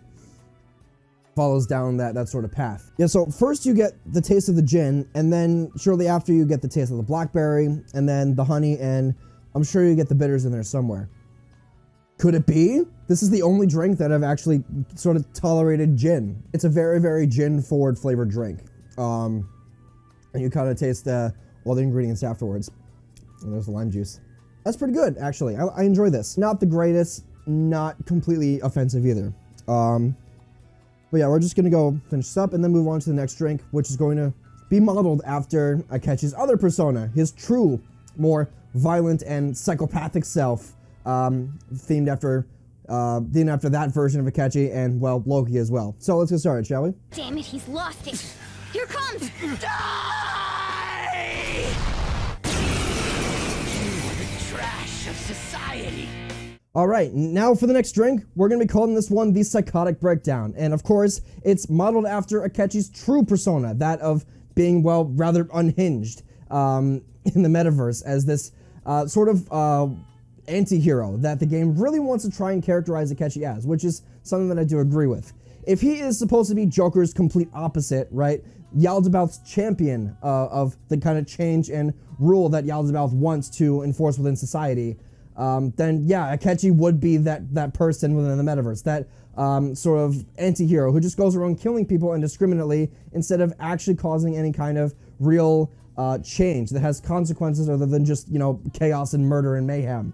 So we're gonna try and make a drink that captures that unhinged attitude of Akechi's true persona and include uh, Loki's sort of persona design in here as well as best as I can. Now, one thing about Loki's um, design that has always sort of caught my attention is the horns. The horns that are coming out of uh, uh, Loki's face are actually supposed to be uh, like parasites. They're based off of mind controlling parasites that you see in snails. Um, which those of you who have actually watched Chainsaw Man would have seen that in the OP as Makima uh, tries to feed uh, Denji that exact same snail. Basically, what happens is the uh, the snail or the parasite takes control of the snail's nervous system or brain and has it climb to a high place, and then basically uh, it, it pulsates as if it was like a caterpillar. So birds will eat it, and then it spreads through that sort of vector to other snails. I think it actually tells us a lot about Akechi's sort of uh, bloodthirsty mentality towards people like, say, Joker or um, Masayoshi Shido. If these things are supposed to be like a core part of his character design, in, in fact, they, they completely conceal Loki's true eyes right behind the horns, then that kind of tells us a lot about how much, um, how dedicated Akechi is to bringing Shido to justice. And by justice, I mean just straight up killing him. He sees no other viable options other than just being, well, strung along for the rest of his life by everyone else, including greater society, to the point where he feels like it's necessary to just kill everyone in his path that disagrees with him, including that the Phantom Thieves. So we're going to try and reflect that sort of unhinged nature that is Akechi's persona within this drink. Uh, we need so we need a drink that sort of uh, captures this complex combination of uh, uh personality traits that uh, Akechi has, along with uh, Loki's depicted in the game as well. we need a drink that reflects Loki's dual nature as a trickster and a bringer of change through abject chaos. So what we're going to need here is we're going to need some Campari, some dark rum, some blue curacao, some lime juice, and some simple syrup. And the portions for that are as follows. We're to need uh, half an ounce of dark rum, half an ounce of blue curacao, half an ounce of lime juice, quarter ounce of simple syrup, quarter ounce of Campari, and two dashes of orange bitters. Shake it up and then strain into this glass, which I got off of uh, Forgotten Weapons' merch store because, well, frankly, it looked cool and they were doing a sort of um, going out of business sort of uh, uh, sale for one of the storefronts. And I mean, it's a it's a whiskey glass with a bullet inside of it. I mean, what else can what else do you want? All right, so without further ado, let's get mixing. As always, ice! Ounce and a half of dark rum. It's going to be a very sort of rum forward drink. Half an ounce of blue curacao.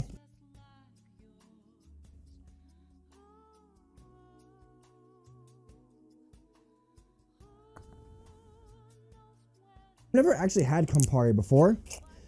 Quarter ounce of that ounce, but that's fine. Two dashes of our bitters.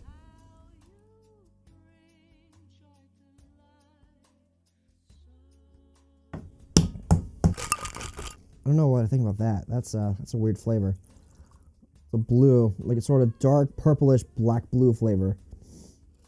We got there? Yeah, take a look at that. Huh. I just smells like a it smells like a cup of booze. All right, so here we have the psychotic breakdown inspired by Akechi's true persona. Down the hatch.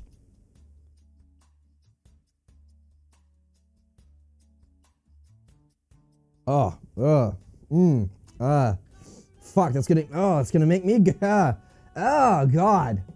Gonna give me a psychotic breakdown. Fuck, man, that is disgusting. I think it's just the, the, the Campari that's just ruined it.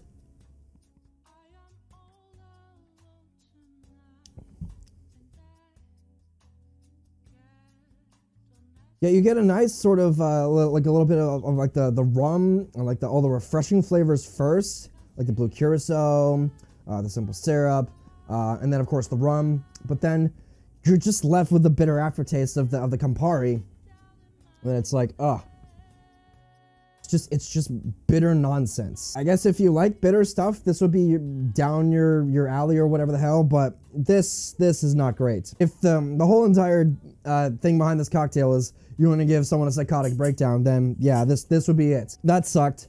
Um, we're gonna move on to the next one here, uh, which we're going to call the Hereward's Last Stand. So let's forget about all this nonsense and let's just move on, shall we?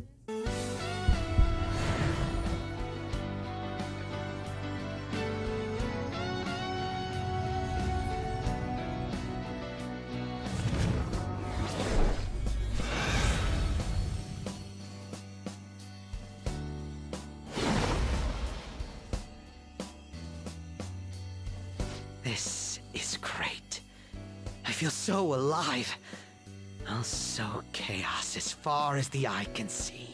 we're going to make something called Hereward's Last Stand, uh, which is modeled after a Akechi's persona that you get on the last day of, well, the game, basically, in Persona 5. Uh, right before you go fight Maruki and you accept uh, that you're going to fight for the true reality, not the false one that Maruki has concocted up for the rest of the Phantom Thieves. Um, and it's really, really kind of interesting, as a side note, how the game sort of props up Akechi, of all people, as the center of moral righteousness around what Joker should and shouldn't do within that situation. They set out the antagonist of the game, or one of the, the uh, tertiary antagonists of the game, as the center of moral righteousness in this situation, which it's just really, really fun to wrap my head around. And the, the best part is, is that it actually kind of works. Um, to great effect. It doesn't kind of work, it actually does. Every single time I, I go back, play through Persona 5, that moment always hits me because it's either betray Akechi's witches, which the, the plot has somehow made me sympathize with Akechi to that degree where I don't want to actually just betray his wishes and effectively kill him, or accept the false reality and betray Akechi and the rest of the team's wishes for a brighter uh, future, and a future that they can manifest with their own uh, willpower and design. The design of Hereward, as far as Akechi's persona goes within the game, uh, he's a sort of fusion between Loki and Robin Hood, right? Sort of superhero-ish uh, design of Robin Hood and the darkness of uh, Loki. We're going to sort of fuse all that together into a sort of surprisingly sort of uh, bittersweet sort of drink here. So uh, for, for these drinks to sort of make this sort of um, uh, bittersweet drink here that I'm now going to call the Hereward's Last Stand because, well, that seems to be a fitting name for what we're modeling this drink after and for what Akechi does uh, for what you have to do within the plot of Persona 5 in order to unlock uh, Hereward for Akechi to use in the final boss of the game. To sort of capture this sort of bittersweet moment we have with Akechi, where it's not about like the justice of what society considers to be just or not. It's incredibly personal as well uh, for Akechi, which is always super fun to think about too. I have no idea how Atlus managed to sort of twist and and stretch Akechi's character to make me sort of sympathize with him, but it works, and I don't know why. Maybe we'll go ahead and uh, we'll talk about that more in the video where uh, I eventually do cover Akechi as well. I got I got quite a bit to say to him. So if you guys are looking forward to that, hit that subscribe button and uh, check the link in the description for all the other videos as part of that series as well. And if you haven't liked or commented already, please do so. Uh, it helps you know that I'm doing something right here with these sorts of fun videos that I like to do as a little sort of little side quests in the content that I normally upload. So. Uh, anyway, without further ado here, so what you're going to need to create a Hereward's Last Stand is uh, have ounce and a half of um, uh, rye whiskey, one ounce of sweet vermouth, half an ounce of uh, Aperix Aperitivo, and uh, to further bitter this whole thing, we're gonna include two uh, dashes of uh, uh, aromatic bitters here. So let's get started. Before we get into any of that, ice. So Uh, for our whiskey here, we're going to use some Bulleit Rye whiskey. The recipe that I didn't make uh, does call for some kind of rye whiskey, but um, I would suppose do whatever the hell you want here. Doesn't have to be all specific. Yeah, we're gonna have the, the whiskey be a very, very sort of forward flavor in this drink, I suspect, because of how the portion's working. Following that, take our sweet vermouth. So this should give the, the drink a sort of uh, sweet olive flavor, which should be kind of interesting. We'll just do half an ounce.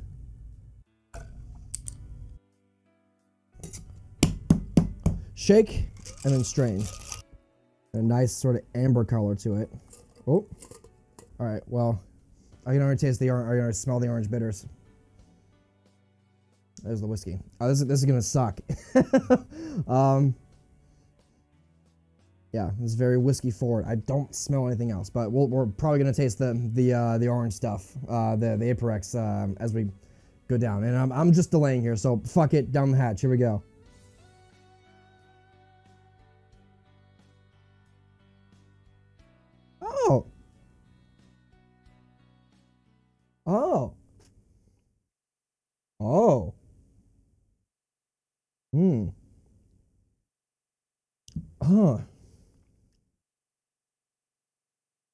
Yeah, you get the the undertones of the orange flavors in there from the from the Aperex. Oh, and there's the bitterness.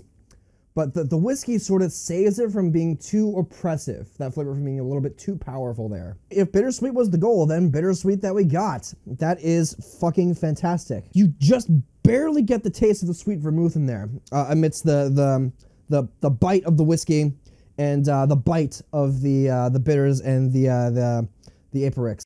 Oh man, wow. That is, that is the bittersweet cocktail of dreams, bro. Hereward's Last Stand gets a fat W. That is great. Fan fucking tastic. As it stands right now, the Bulleit Rye front facing flavor and then everything else just sort of neatly follows behind. It's a very, very balanced drink. Nothing, no other flavor is too oppressive. It's just the right amount of stuff. All right, so with this W in the bag, we're gonna move on to our last drink of the video, and it's gonna be modeled after someone a little bit special.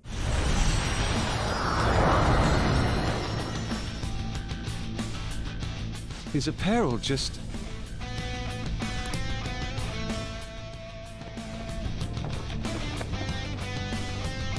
And I believe you called forth your power like this. Persona.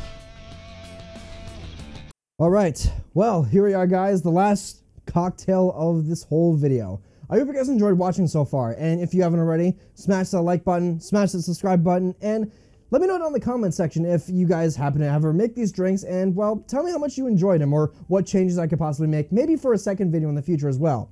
But uh, as it stands right now, we're going to make something that I'm going to call the ideal and the real. And as you might suspect, it's going to be modeled after Persona 5's sympathetic antagonist. We're to be modeling this drink after Persona 5's Takuto Maruki. Maruki, for me, is probably one of the most unique antagonists in gaming history to my recollection. Um, he's so consumed and uh, by his, his past trauma uh, of his girlfriend uh, basically getting drawn into a catatonic state because of some immense trauma that caused basically her family to get killed during a burglary that Maruki sees fit to create a reality using his persona Azathoth as a way to concoct a false reality where suffering just plainly just doesn't exist anymore. Um, now, that very notion has always fascinated me about Persona 5 because Maruki's way of treating these sorts of things is just him taking the Phantom Thieves ideology to its logical extreme. It, it begs certain questions about the, the uh, philosophy of the Phantom Thieves as well, and uh, what the wrong sorts of people could do with that sort of power. Pain uh, can't exist anymore. Suffering cannot exist within his reality anymore. Everyone must be happy and content all the time with their current circumstances. That is something that we're going to try and reflect here within this drink. Uh, the false reality the Maruki has tried to concoct it and cram the entirety of the world into as well. The idea of this drink, it's supposed to be sort of a warm, comforting hug, right? That uh, it's it's the ideal that Maruki wants to impose upon the rest of society with the reality that he wants to um, concoct for everyone, uh, where again, suffering just doesn't exist where this is sort of modeled after a hot toddy, right? So this drink is supposed to be a sort of warm hug that Maruki wants to give to the rest of reality, being a benevolent overlord uh, that he fancies himself to be. And uh, of course, this is going to require a cameo from a very, very famous person. Look, check this out. Oh my god, it's Pikami! yeah, so we have uh, um, a kettle of hot water here. And uh, the ingredients that we're going to be using here is, of course, um, some bourbon, uh, some uh, ginger syrup, some honey syrup, and some uh, lemon juice. And we're also going to cut up this lime here to uh, garnish and wedge as we see fit. As for the particular whiskey that I'm going to be using, we're going to be using Blackened whiskey here. I have used this earlier in the other episode where we did make some cocktails themed around Mass Effect. To sum it up, this is Metallica's brand of whiskey that they released, I think, a year or so ago. Basically, what they do is they take a, a normal batch of whiskey, brew it up, uh, store it in some oak barrels, and they blast their soundtrack into it. Now, this is supposed to enhance the whiskey in some way or another. However, I don't get that impression whatsoever. To me, it just tastes like really sort of watered down Jameson. It has that sort of vanilla oaky flavor to it, but apart from that, not really anything too significant here. But uh, we're just going to use that because we did just use the Bulleit rye for the other recipe involving Akechi, and I just kind of want to vary things up a little bit. Use your bourbon or whiskey of choice, of course. I probably would have used Jameson if I did have some on hand, but yeah, uh, do what you want is my point. So let's get started here. Uh, so to make the ideal and the real, you're going to need two ounces of bourbon or whiskey, one ounce of honey syrup, uh, three quarter ounce of lemon juice, half an ounce of ginger liqueur or uh, ginger syrup. Now, of course, I don't have ginger liqueur, so I'm going to be using the ginger syrup that we use for our last drink. And we're going to need uh, three to four, three to four ashes of Angostura bitters here, and uh, some hot water, which we have here, the courtesy of Pikami. And finally, we're just going to garnish it with a lemon wheel. So let's get started, shall we? Now, we're supposed to be serving this in a mug, but uh, for the sake of uh, this video, we're just going to be serving it in a normal uh, cocktail glass here, just so you guys can see what I'm working with here, and, you know, I'm not bullshitting. So, two ounces of our blackened whiskey. I'm, I'm a little bit less concerned about uh, the honey syrup here, uh, sort of coagulating a little bit. So, uh, because we are just going to pour hot water over this. And use the, the rest of this.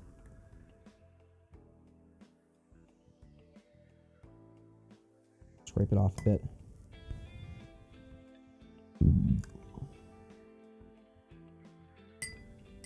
Stir that up. Lemon wheel out of it. That said, we're going to pour in our hot water and maybe we'll give it a little bit of a stir with a knife as well. Here we have the ideal and the real. It's got that nice little lemon.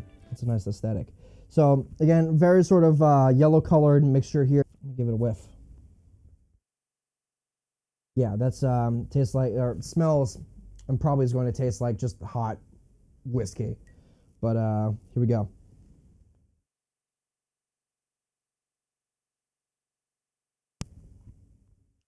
Oh, that is divine. That's very good.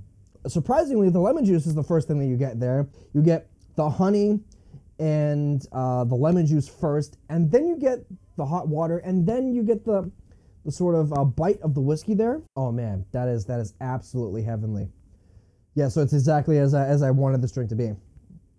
It, it tastes exactly just like a nice, warm hug. So it's aligned with the goals that I wanted for this drink, and it tastes good to boot. That is so good. Ah, unfortunately, that's the end of our cocktails here for this particular video. And uh, before I say anything else, I want to thank you all for watching. This has been just a, a, little bit of a slight detour here from our normal content. And if you guys did enjoy this, make sure you smash the like button and the subscribe button as well. And leave a comment down below. Uh, maybe there's some uh, potential for some other recipes here that I didn't quite include here within this video. Anyway, guys, this has been X Badger Knight X, and I want to thank you all for watching this rather strange detour into something a little bit different that I normally don't do on this channel. Uh, if you have any recipes for something that I might want to try in the future for another potential cocktail video, uh, let me know down in the comment section down below. And of course, don't be afraid to smash the like and subscribe button while you're at it. Um, stay posted on everything that I do upload, because we might do something a little bit more fun in the future uh, in regards to this. And of course, you have that Dichotomy of a Character episode involving Makoto. We're going to take an in-depth look at her character in the future here as well. So do stay posted for that. And, uh, well, thank you guys for sort of indulging me on this adventure that we had so far involving Persona 5 themed cocktail. Thank you all for watching, and I'll see you all next time. I'm out of here, and goodbye.